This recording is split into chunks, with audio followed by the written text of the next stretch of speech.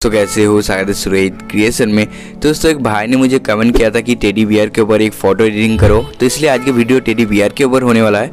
और आप मुझे कमेंट कर सकते हैं कि किस टाइप का आपको एडिटिंग चाहिए तो मैं ट्राई करूँगा उस टाइप का एडिटिंग बनाने का। तो दोस्तों, चलिए वीडियो को स्टार्ट करते हैं और इसमें जो कुछ भी यूज़ है, सभी लिंक आपको मिलेगा डिस्क्रिप्शन में।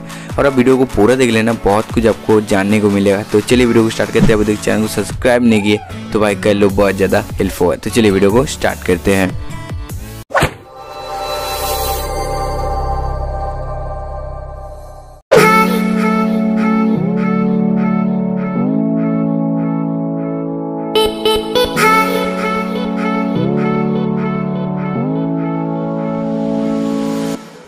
Oh